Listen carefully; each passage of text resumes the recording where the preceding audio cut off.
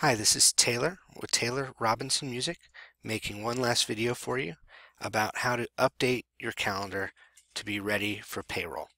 So if you've seen the other videos or read the directions online, you know how to access your account, you know how to create a lesson and how to reschedule it if you need to. This is going to show you how to update the status of a lesson so that you get paid.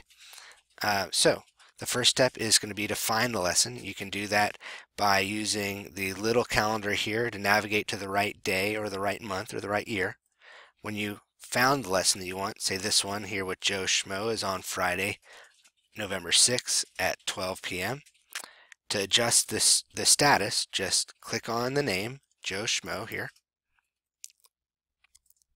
And you can look for the status um, field and it has a drop down to select from.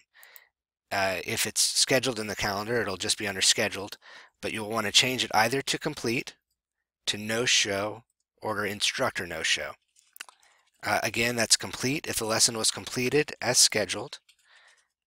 Student no show if the student canceled and did not give you 24 hours notice, or instructor no show if you canceled and did not give the student 24 hours notice. Also, if the student or you cancel and does give the other person 24 hours notice, it wouldn't be a no-show. It would just be a regular canceled reservation. In that case, you can click the cancel reservation button up here. So uh, also as just a reminder, if you need to adjust the date and the time that the lesson actually happened, you can adjust the date here or the time here. Uh, so let's go ahead and set this to complete to show that it did happen and that we're expecting and ready to be paid for it uh, we've we've selected complete from the status drop down and all you need to do is click the update button right here.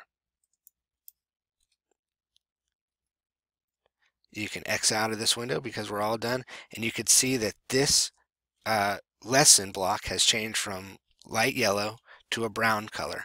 That indicates that you've let us know that the lesson is complete and it will be added onto your paycheck. Just as a reminder, we send out checks on the 16th and the 1st of every month, and they include all the lessons that are listed as complete or student no-show on your calendar. It's very important that you let us know uh, that you update your calendar by the 16th and the 1st of every month so that we get your total that you're owed correct on your check and uh, and so that it doesn't cause our bookkeeper uh, extra time to go back and fix records from previous pay periods. So uh, if you have any questions, please let us know. Uh, our office line is 877-483-2248 and you can call us Monday through Friday, 9 a.m. to 6 p.m. Thanks so much.